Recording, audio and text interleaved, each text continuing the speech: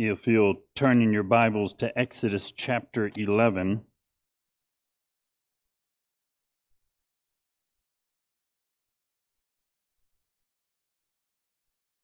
And I warn you, I don't think I ever really woke up this morning. I just started sleepwalking at some point.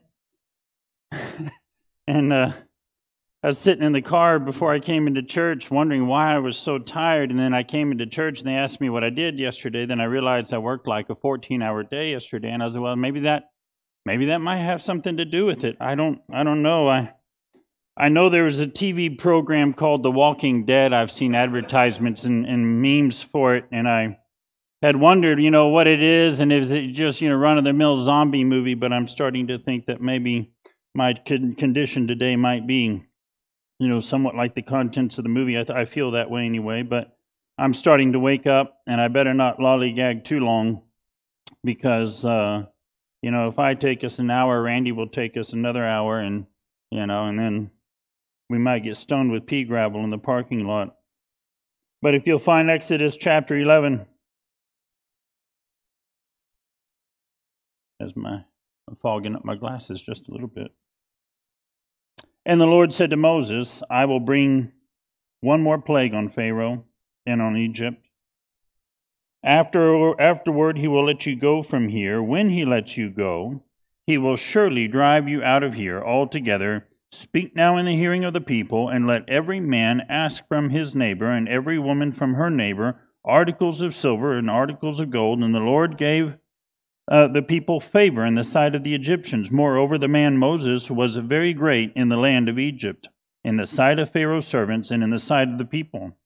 Then Moses said, Thus says the Lord, about midnight I will go out into the midst of Egypt, and all the firstborn of the land of Egypt shall die. From the firstborn of Pharaoh who sits on the throne, even to the firstborn of the female servant who is behind the handmill, and the firstborn of the animals then there will be a great cry, there shall be a great cry throughout all the land of Egypt, such as was not like it before, nor shall be like it again, but against none of the children of Israel shall a dog move its tongue. Against man or beast, that you may know that the Lord makes does make a difference between the Egyptians and Israel. And all these your servants shall come down to me and bow down to me, saying, Get out, and all the people who follow you after that, I will go out.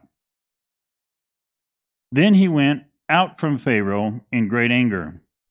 But the Lord said to Moses, Pharaoh will not heed you, so that my wonders may be multiplied in the land of Egypt. So Moses and Aaron did all these wonders before Pharaoh, and the Lord hardened Pharaoh's heart, and he did not let the children of Israel go out of the land. Let's pray. Father, God bless us to understand, Lord, to receive from you, God, the purpose for which you preserved this word, God, the purpose for which you call us to study and to show our, ourselves approved. A workman who does not need to be ashamed. God, I pray, Lord, that you'd bless us to understand your word, that we might not be deceived. God, that we might have discernment, Lord, that we might have the knowledge of you, God, to know who you are and how you are, God, and able to spot a counterfeit. Lord, when we see it and hear it, God bless us to receive what you've prepared for us and what you've preserved for us at the cost of your saints. Bless us in your word this morning, I pray, in Christ's name. Amen. I think out of this chapter 11, I just want to mention some things about sin, and I titled um, the sermon, When God Broke Sin. Because ultimately, you know, that's what we're looking at the big picture, the illustration that's in the Old Testament. Egypt was sin. And God's people there in bondage was people in bondage and slavery to sin. And God was painting this picture. I mean, He spent, you know, hundreds of thousands of lives and, and hundreds of thousands of years, you know, painting pictures and illustrations and examples by which we may see and understand and know and, and learn from. You know, you imagine, does God want you to know history? Well, He, he literally invented history and used it for the purpose of telling us about Him and telling us about our condition and our relationship with Him and, and showing us all these things and these illustrations and these pictures You know, our best educators today tell us listen, you just can't give a kid a lecture. His brain isn't really designed to receive information that well, and he won't learn very much. What you need to do is give him an activity and paint him a picture, you know, and give him a story and all. And what do you think that God has done for us? Over and over and over, and with the lectures, and with, you know, along with the lectures, all the illustrations like he recorded in 1 Corinthians 10, these things happen to them as examples for us. And we look, we understand, and it's his people. It's his people where they should not be in bondage to Egypt, or rather in bondage to in, in slavery to sin. And you know what that looks like for us is, you know, somebody who ought to be serving the Lord, but rather than serving the Lord, we're in bondage to whatever sin it may be in our life, and that's what we're living our life for. And we're in that situation until we come to know Christ. And then when you're born again, like John said, like yeah, Jesus said in John chapter 3, there's a spiritual birth. There's a receiving of the Holy Spirit of God. There's a sanctifying work which takes, you know, place in you, uh, and something is planted, and God begins to grow you as a Christian. You ought to be maturing. And after you receive Christ and you, you know, you repent of your sins in that process, and you begin a spiritual growth process. I didn't know anything about this at the age 21. I knew about Jesus on the cross, and you know, and I, you know, but I didn't have any idea, but that, that's God's redemptive work. Redemption doesn't start when you die and bypass the, the great white throne of judgment. Redemption starts when you receive Christ and the person that you are or were or would have been is redirected and is changed. I can only imagine what would have become of me. You know, had I not at the age of 21 said, okay, Lord, I want to serve you. And and gone in that direction instead. And we look at this picture as the whole Egypt, helplessly, they're helplessly in bondage. There's no way they could have delivered themselves. Look at the, at the rigor that it has taken to cause them to come out of Egypt. And there's no way. These were the people that were very afraid even to make a ruckus, even to cause problems, you know. And very quick in the beginning, they told Moses, no, no, no, you know, let's, let's call this off, you know. Let's not do this. But the rigor that it took, and they were completely unable. You know, man is able to achieve some pretty amazing things. I, I there's a lady, her name is Melissa Arnot. Melissa Arnot Reid now. She was the first American woman to summit Everest without oxygen. It took her six attempts. And so she's actually been up the mountain six times, but the but you know the six times she got it without oxygen, and she's done some other eight thousand meter plus mountains. But but an exceptional person would drive and has and has been able to achieve so much. Yet I don't think that she can do anything about her sin. Ask Melissa Arnot to stop sinning, and there's no way that she can do it. You know, there's other people. I think about Dan Pena, the son of a of a Mexican immigrant. And you know grew up kind of in the barrio in the hood and and that was what he came up in but he joined the army became an army officer. And after he got out of the army became a businessman. And very not too far into his business life he became known as a 50 billion dollar man because of a 50 billion dollar deal he made. And you know very accomplished man uh, one of the wealthiest billionaires in the world today Yet there's no way, if you ever listen to him, that Dan Pena can do anything about his sin. I think about Dave Goggins, that man who grew up in an unfortunate situation of domestic abuse, was, you know, an, an overweight uh, bug killer, he said you know, and just so underachieving. And but something got into him one day, and he decided he was going to be a Navy SEAL, and he did become a Navy SEAL. Took three attempts at BUD/S training to become a Navy SEAL, and not only that, he went on to be an Army Ranger. And not only that, he went on to be Air Force paratrooper. Incredible things. Has done these endurance races, 120 mile an hour, uh, 120 mile an hour. Now that would be something. 120 mile races, you know, out in the desert. These incredible things. Yet, if you ever listen to him, it's very obvious that David Goggins can't do anything about his sin. Helen Keller blind and deaf, wrote 14 books, hundreds of, of essays and speeches. You know, incredible. Louis Braille lost his eyesight, I think, the age nine with one of his father's leather tools and, you know, got infected. The, the infection spread to the other eye, and somewhere around the age 10 became completely blind. But then noticed, you know, at those years and and was practically just unaddressed in public schools and didn't go to school, but sitting on the steps of his porch, he, he began to collect enough knowledge and ability to identify the people walking down the sidewalk based on the sounds that they made. And that was the game that he played, and he would sit there since he wasn't in school, and everybody that walked by, and eventually he got to where he could guess every single person based on the sound. And he went on to create the Braille system. Louis Braille, and he made the Braille system and a whole alphabet and a, and a way to for blind people to read with the sensation of their fingers. I, you know, I can't. I'm doing good just to tell. Is that flush or not? I don't know. I got to look at it. But you know, great accomplishments. But there's one thing that no person, no man, even Mahatma Gandhi, you know, there's nothing that we can do about our sin. And what does it take? And, you know, and I think a lot of people, you know, good, well intended people very much want to do something about it. But if you want to be honest with yourself, sooner or later we come upon ourselves and we realize, man, why am I who I am? And why do I do the things that I do? There's not a single one of us who's never been ashamed. Never been embarrassed or ashamed or caught in some kind of a scam or trick or lie. Even, you know, when you're a little kid, there's, there's probably not a single one of us who doesn't have a private detail about our life that we would never want to be made public. That's the truth about who we are and what we are. And the sad truth about that, you know, that, that people come to realize is that there's nothing that we can do about it, that the yoke of bondage and the power of sin that is over us apart from Christ is nothing that anybody can ever overcome. All have sinned and fallen short of the glory of God, is what the scripture says. There's none righteous, no, not one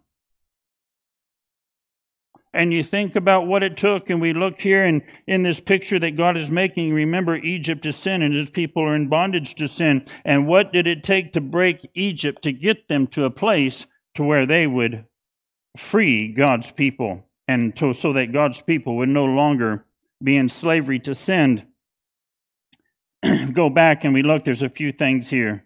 And the Lord said to Moses, I will bring one more plague on, on Pharaoh and on Egypt. Afterward, he will let you go from here when he lets you go. you ever notice that, you know, when somebody uses the term when instead of if sometimes?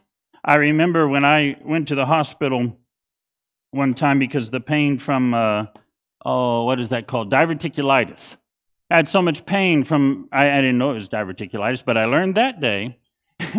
and uh, I couldn't lift my left leg, you know, because there was so much pain down here. And, and I went to the hospital and they took my blood pressure and it was like, you know, 11 million over 5 million or something like that. It was, it was, it was ridiculous, but I was in a lot of pain and it goes up even higher. And the doc said, boy, your blood pressure, you know, that's high. I said, yeah, it's high. It usually is high. And it's really high when I'm in pain, you know, and he kept on coming. He, I was worried about my diverticulitis. He kept on coming back around to the blood pressure. And he said, Well, when you get home today, he said, you need to go and you need to buy a blood pressure cuff and you need to start making a log sheet, you know, and, and documenting this stuff. He says, So when you have a heart attack, you know, and I said, Wait, wait a second. I said, I, I don't like your word there, you know.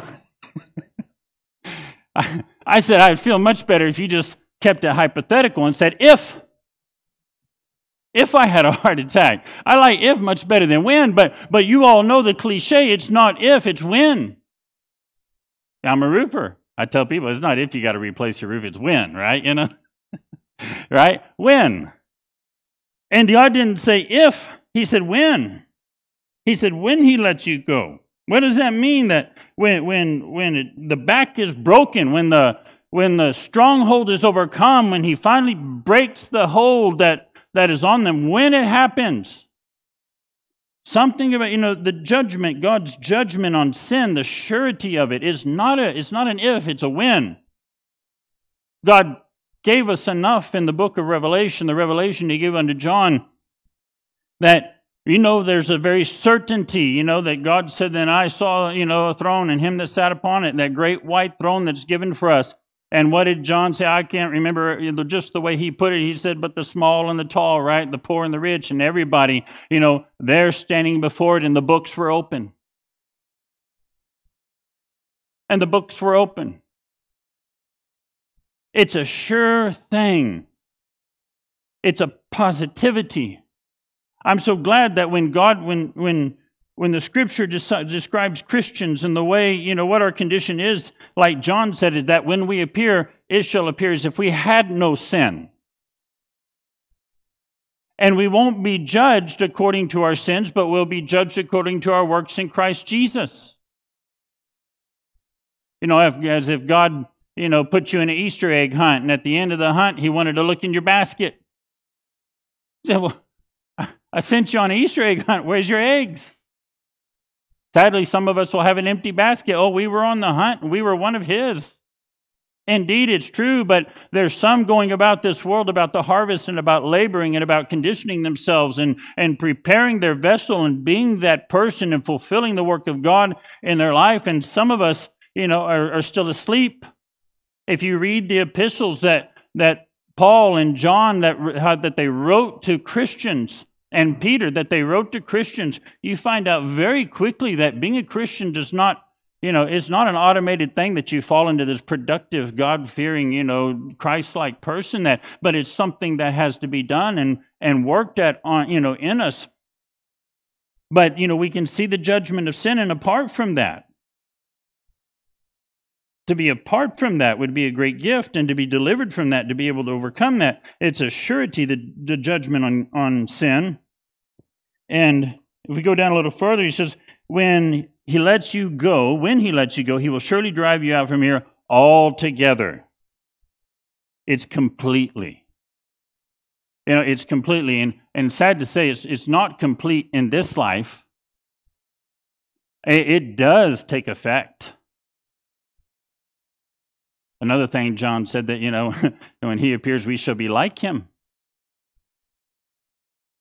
We shall get to that point that Paul was talking about. He says, I have not attained. What did he mean by attained? You know, attained to perfection, attained to true, perfect Christ likeness, to be sinless. That's what's going to make heaven so good. We're not going to be sinners anymore. That's what's going to make it so wonderful. And you wonder, well, what makes this country bad and what makes this world bad? And, and we walk around this world, you know, pointing at our politics and pointing at other people groups and pointing at this and that and the other and, and religions. And you can all do, and, and very well, they all cause problems. But really, the very, the fundamental principle among all those institutions and situations is the problem is sin. Otherwise, communism would work. But communism can't work because we're sinners. But God's going to judge that completely, thoroughly, totally. It's a surety that He will judge it, and you know, and it, He will judge it. When He judges it, He will do it completely. All the books were open. You know what the Lord said? He says, "There's nothing hidden that shall not be revealed." Boy, thank you, Lord. When I think about that, he said, There's nothing hidden, but you know, remember, those who are in Christ Jesus shall appear as if we have no sin. He's not talking about you, he's talking about the great white throne of judgment when the books are open. He said, There's nothing hidden that shall not be revealed in that day, and that God, there's nothing that He's going to forget about. There's nothing that He doesn't know about. In that day, sin will be judged completely. And He said, Altogether, he said, Speak now in the hearing of the people, and let every man ask from his neighbor, and every woman from her neighbor, articles of silver and articles of gold. And the Lord gave the people favor in the sight of the Egyptians. Moreover, the man Moses was very great in the land of Egypt, in the sight of Pharaoh's servants, and in the sight of the people. You know, just as a side note, when God blesses you with a lot of money, I wouldn't assume it's for Amazon. know? or Bass Pro Shops or whatever it is. Anything about this, I can only imagine the thoughts that went through so many minds that day when here they are, they're just, you know, turning over their riches. And, uh, you know, what, what would that be like for us? You know, it'd be somebody, hey, you know, here, let me cash app you 10 grand. You know, Here's my brand new Audi, you know, take it. And just conferring riches and wealth, you know, and, and getting wealth. But, you know, be careful because God had a plan for this. Remember, we're stewards, not owners. You're a manager, right? With what you have and what you're going to do with it. And you know what God's intention, you know what He did with all these riches later? He wanted to build a temple, a, you know, the tabernacle. And that's what that was for so much. And when God blesses you, be careful what you're assuming that it's for and what to do with it. And so he did that, but let's go on to look again about his judgment on sin. Verse 4 Then Moses said, Thus says the Lord, about midnight, I will go out into the midst of Egypt, and all the firstborn in the land of Egypt shall die. I, I don't know about you, but I want to feel like that's severe. I mean, that is severe, that's tough. My mind automatically and apologetically goes, you know, to the, you know, to the, the, the, the Egyptian woman who wanted the Israelites to go already. Maybe she was sympathetic towards them. Maybe she helped them. Her and her husband, you know, were, were helpful to them, but you know, the severity, the prescription that God wrote was hard. You're like, why was this so hard? Well, you know, I think God likes to turn up your feelings and then cause you to understand what it's about. You know, us in our in our own humane mind thinking about the toughness and the severity of it and all that you know, we overlook the fact of the offense against God, you know, that he, he chose something very hard and very tough, but you know what it does is it qualifies just really what sin is and the offense that it is against God. And, and it's tough for us because we're so unrighteous and he's righteous. And you know, you know what that's like? It's like having a toddler. How many of y'all had this when y'all were, you know, you had this 18 month old that, you know, they're in the next room and they got really quiet. And you're like, oh, I get something, you know, there's something, you know, I need to go find out. And you go in there and they got their diaper off and they're painting on the wall. You know, and I'm sorry, it's gross, it's a bit vulgar, but you know, it it, it it'll get us there. Hold on, just a second. You know, and, and you know, like, look, mom, look what I did. You know, I'm coloring the wall. You know, look, it's a picture. And we're just like, ugh, ooh, you know, no, that's my wall, you know, and that's my carpet, and that's disgusting, and that's, you know, it, hey, this it, that toddler thinks it's great. And you, you know, and you have to realize, well, wow, and their and their simplicity and naivety and ignorance and you know, just their, their juvenile condition, they don't even know what is refuse and what is gross, and, and they don't even know what's of value and what, you know, took work and effort to create and maintain, and they're totally oblivious to the offense. You don't think there's things like that with us and God? Something that just relatively like seems so okay to us and you know just justifiable or or fun or something like that. And god's walking in the room and we got our diaper in our hand and he's like that's disgusting. That's horrible. That's sick. That's gross. Oh but it seemed like a good time to us and it's because our thoughts are not his thoughts and our ways are not our ways. And, and if you want to know, hey, man, have I made my mom and dad mad by, you know, uh, painting on the wall with my diaper contents? Look at the consequence. Look at the consequence that God is trying to send such a strong message to us today. Listen, your sin won't just cause you your health. Your sin won't just cause you your mind. Your sin won't just cause you your relationships in life, your sin will cost you an eternity separated from God. How important is it? Extremely. You know, how is it important for you not to commit first degree murder? Well, the consequence is death penalty. Mm, that qualifies it a little bit, doesn't it? that God is so serious about sin that he never like you know passes it off as nothing but no he told us the wages of sin is death. He told adam and eve in the garden now you shall surely die. Don't you know don't you understand the severity of god's judgment on sin that he can't have anything to do with it that he's disgusted by it? And he said well the firstborn of egypt shall die. He said from the firstborn of pharaoh who sits on the throne even to the firstborn of the female servant who is behind the handmill and all the firstborn of the animals why did he put that in there? It's just like the great white throne judgment, you know, to the great and the small. That God's judgment on sin is impartial. There's impartiality with it. That it, you know, it does not matter who you are. God, you know, and God never there's no biblical grounds to say because you had this kind of childhood and these kind of experiences and that kind of PSD and this kind of disorder and you know there's God just doesn't give any kind of excuses, does he? You know, I'm afraid that Americans today, as we die, you know, we might show up and he's like, you know, God, AD, AD, you know, and, and we start giving all the reasons for the reasons why, you know, and I, I don't find any grounds for that. That, you know, when God judges sin, it's impartial, it's across the board. And that's something I think is very sobering. To, to, to come to mind and to realize and to understand that there's, there's impartiality. That day when he brought judgment on sin, he said it's going to be for Pharaoh's son and it's going to be for the son of the woman grinding at the mill. And he said that you may know that the Lord does make a difference between the Egyptians and Israel. Now, here's some great news that it's avoidable. there were those there who were going to avoid this judgment on sin. And actually, since the fourth plague, they had avoided uh, this judgment that God had brought in the form of ten judgments. And, you know, that's because they were in Him.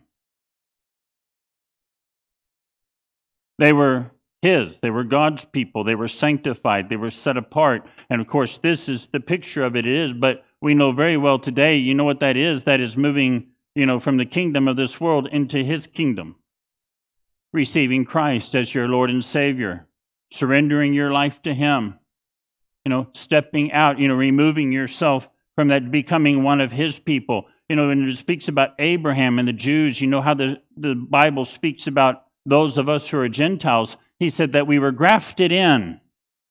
And, you know, for any of y'all who don't want to know what grafting is, grafting is, you know, when you go to a tree and maybe you'll go to a native pecan tree and you use the native trunk and the native base.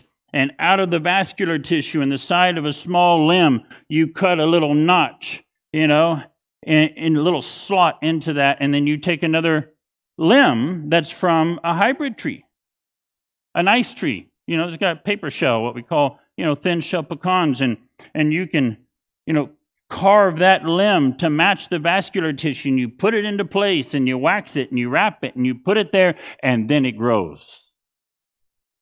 That vascular tissue, amazingly enough, it, it lines up and it connects itself and it fixes itself. And that tree, it's just, you know, we, we thought we were, you know, getting really good in the medical industry about you know, this limb and that limb, and they've been doing this in plants for thousands of years. But it said that we were grafted in. And just as Abraham by faith believed God, it says that so you and I too can be sons of Abraham. You know, in faith, and that we believe him and that we are grafted in, that we become one of the people of God, and that we avoid this judgment on sin, that it's avoidable. And how was it avoidable? I'll leave you with that.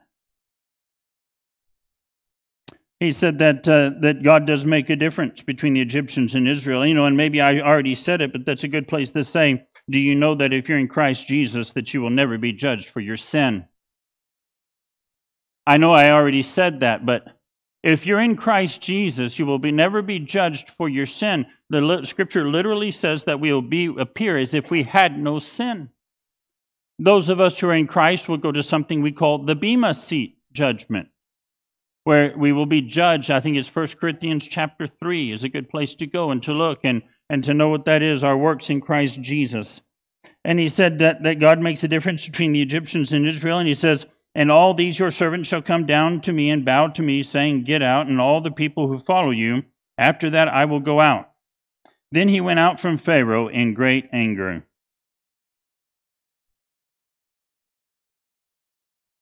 I wonder. I sat there and wondered why. And the and the cost, you know, of being involved in something like that in a situation like that, I feel pretty certainly that Moses' anger was to be such a close witness to so much pain and anguish for the hard heartedness and arrogance of man. You know, we, we see that in the East right now because of racism and bitterness and, and you know, between people that there's so much pain and suffering. And it's hard to be in the middle of something like that. You know, I, you probably know of situations where grandparents had to watch, you know, their own incompetent kids be careless with their grandkids. And a very difficult thing. And a hard thing to watch go down. And I think about the, the pain of giving this pronouncement. Remember, Moses was not far from Egyptian culture. For 40 years, he was an Egyptian.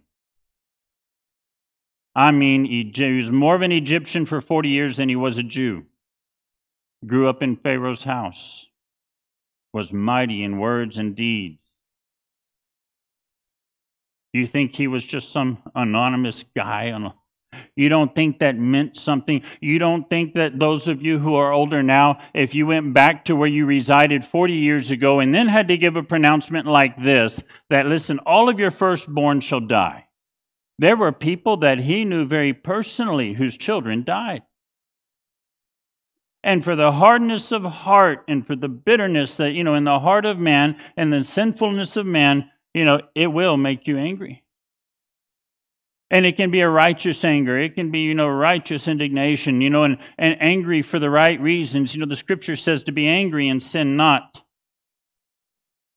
And don't assume that all anger is sinful anger, but even the Lord Himself demonstrates anger, righteous anger for us. But he went out in great anger. He said, But the Lord said to Moses, Pharaoh will not heed you, so that my wonders may be multiplied in the land of Egypt. So Moses and Aaron did all these wonders before Pharaoh, and the Lord hardened Pharaoh's heart and he did not let uh, the children of Israel go out of the land. now the Lord spoke to Moses and Aaron in the land of Egypt, saying, This month shall be the beginning of months, and it shall be the first month of the year to you. Now, this was not normally their first month, this was the seventh month. And it was Tishri that was the first month, and this is Aviv, or Nisan was the Babylonian term for uh, Aviv. And but God reset the calendar, and that becomes a little difficult. You go back and well, so guess what? What day the ark? Because it gives you the God gave the exact date the ark came to land. Guess what day it was? The seventeenth, Resurrection Day. You know, I don't know that we have it in Scripture, but it's it's in uh, Jubilees that the day that Abraham offered Isaac was very near to this day.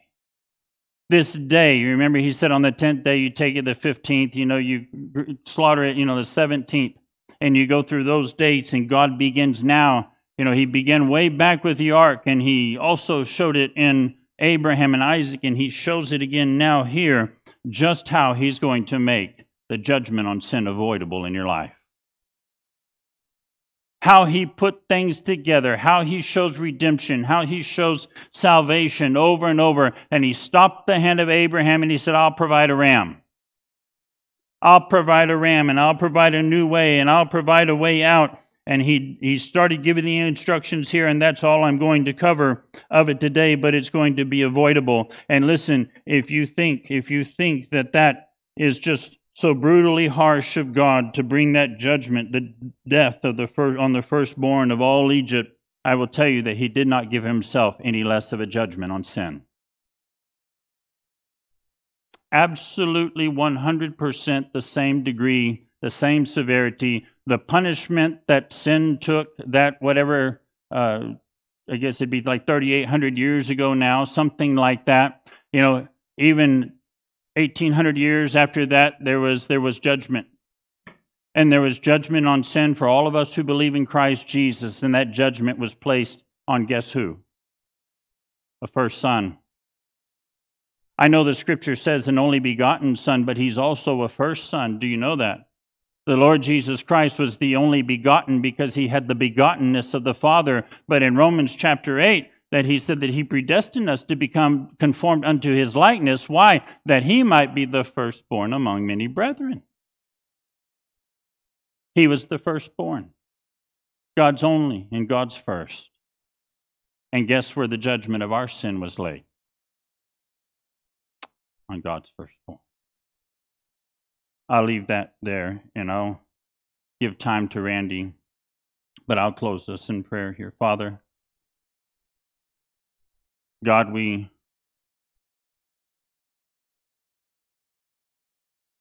we thank you for your demonstration, for your evidence, for your proof.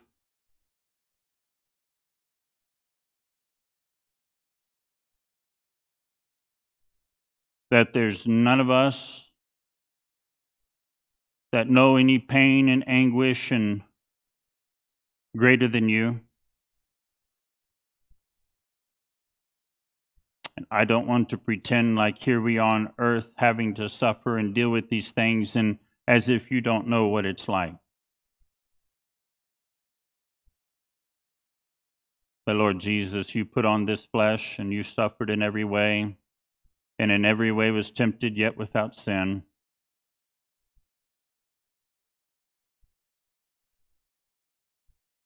Lord, we want the full effect of that payment made and that sanctifying work.